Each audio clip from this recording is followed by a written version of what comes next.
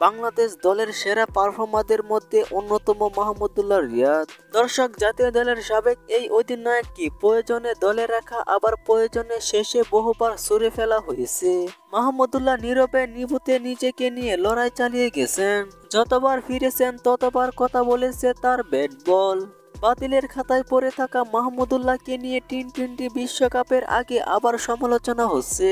দর্শক, দুই হাজার একুশ সালের টি টোয়েন্টি বিশ্বকাপে বাংলাদেশ দলকে নেতৃত্ব দেন মাহমুদুল্লাহ রিয়াদ। দুই হাজার বাইশ সালের একে সেপ্টেম্বরের পর থেকে দেড় বছর টি টোয়েন্টি দলের বাইরে তিনি। চলতি বছরের জুনে ওয়েস্ট ইন্ডিজ ও যুক্তরাষ্ট্রে অনুষ্ঠিত হবে টি টোয়েন্টি বিশ্বকাপের নবম আসর। তার আগে চলতি বিপিএল এ দুরান্ত ফর্মে রয়েছেন জাতীয় দলের অভিজ্ঞ অলরাউন্ডার মাহমুদুল্লাহ রিয়াদ।